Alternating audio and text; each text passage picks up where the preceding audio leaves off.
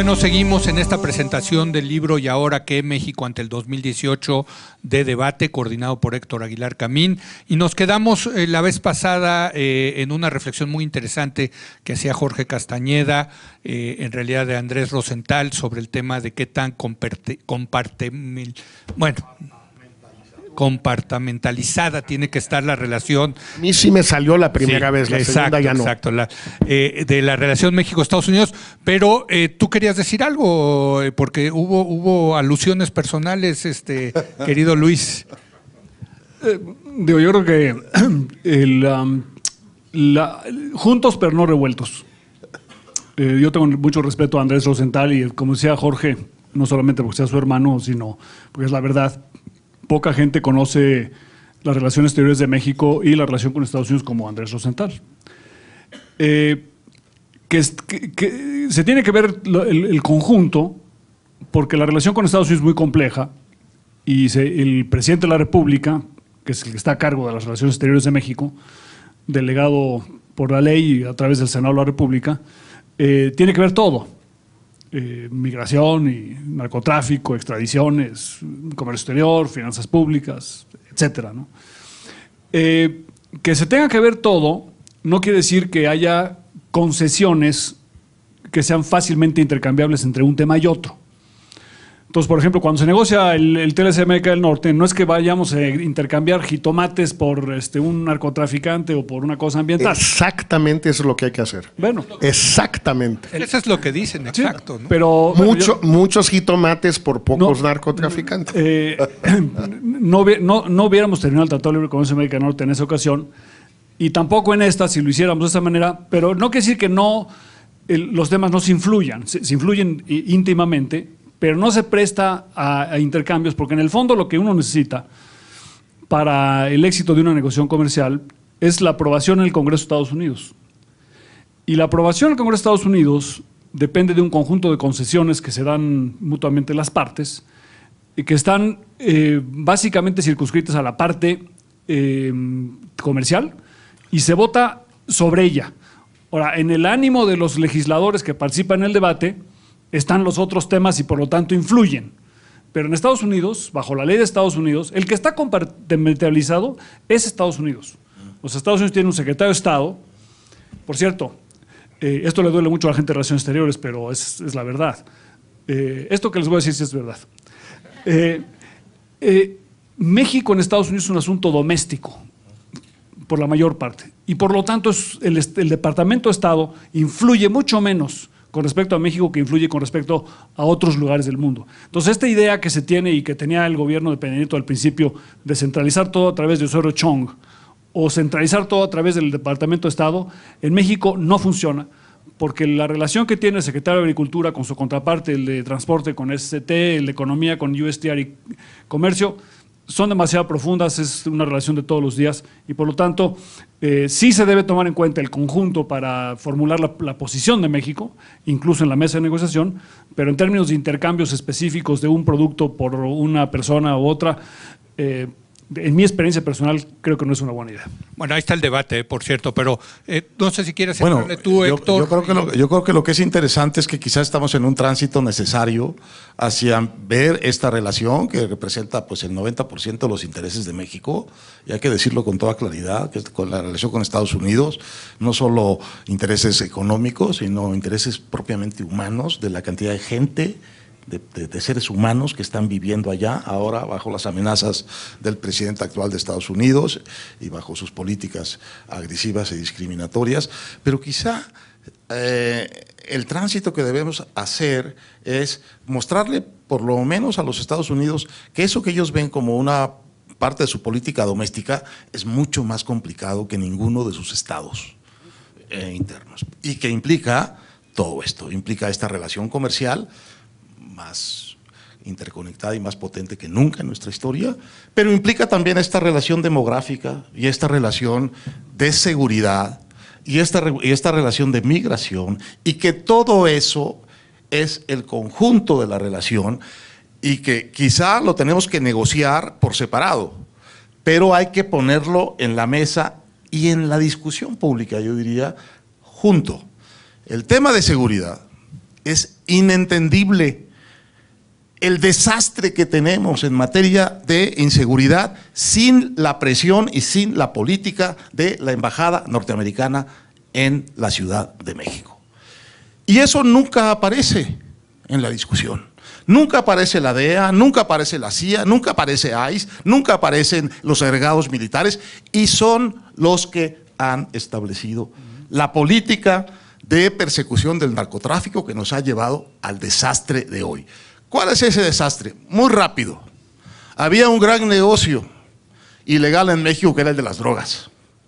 Ahora hay cuatro. El de las drogas, el del huachicol, el de la extorsión y, tristísimamente, el crecimiento de la trata de blancas. Había un cártel y medio en México 1985, el cártel de Sinaloa y el cártel del Golfo. Hoy hay dos cárteles, el cártel de Sinaloa y el cártel Nueva Generación y 240 bandas. Esto es inentendible sin la imposición de la política de seguridad de los Estados Unidos sobre México en persecución por las drogas. No ha hecho nada más que agravar, multiplicar, volver prácticamente insoluble nuestro problema de seguridad. ¿Por qué no lo vamos a poner en la mesa? Locos tenemos que estar. Y está, eso está en el libro también, digamos, es, eh, como parte de la seguridad. No, yo estoy de acuerdo, con, ¿Querías este- yo estoy de acuerdo con, Sí. lo, que- con lo- con lo- con lo que dice Héctor y, y Jorge, ¿no? Eh, lo, lo que, a nivel práctico, sin embargo, cuando tú dices hoy vamos a abrir el mercado del jitomate, meterla a esta discusión, pues es un poquito, eh, no se puede, ¿no? O sea, no se presta al intercambio, pero México sí debe tener una posición muy firme en materia de seguridad con, Estado- con respecto a Estados Unidos, sobre todo desde mi punto de vista en materia de armamento. Digo, por- ahora, por ejemplo, que estuvo esta cosa del acero, yo creo que México, si nos hubieran puesto en la lista, deberíamos haber tomado represalias a los proveedores de las grandes fábricas de armamento de Estados Unidos. O sea, no a todo el acero de Estados Unidos, sino a los proveedores de los grandes armamentistas de Estados Unidos. ¿Cómo, cómo es, ¿A cómo poco es le compramos mucho nosotros? ¿Armas? ¿Sí? ¿A Estados Unidos? Está invadido de armas. Todo, Todo. todo. Pero No, ¿quién- el Estado mexicano. Somos grandes No, no, no. compradores. No, el Estado, mexicano. Por eso, y- por eso. no, eh. y los- y para los- que nos y- quede claro. y los ya sabemos que criminales. los malos, los chicos malos. y los criminales. muchos, ¿no? Pero México debería tener una política similar a la que tienen ellos en materia de drogas, en materia de armamento. Así es. Los miembros de los consejos de administración, por ejemplo, de las grandes empresas de armas de Estados Unidos, no deberían tener derecho a entrar a México. Las empresas que son proveedores de los grandes productores de armamento en Estados Unidos no deberían derecho, tener derecho de participar en licitaciones públicas en México. O es que yo hago tubería para petróleo, pero también haces este acero para las metralletas, no le puedes vender a Pemex, no le puedes vender a CFE. Bueno, para ahí estás mezclando la agenda, justo.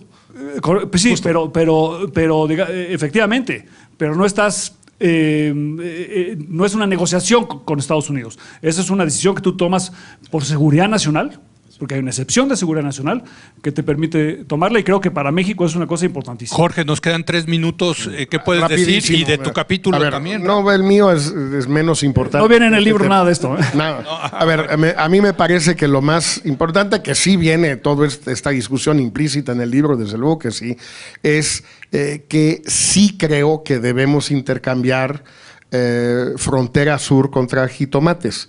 Es decir, si nos quieren imponer una cláusula de estacionalidad, de topes estacionales a la exportación de jitomates en particular y de productos agrícolas en general, pues muy bien. Entonces les abrimos la frontera sur a los centroamericanos.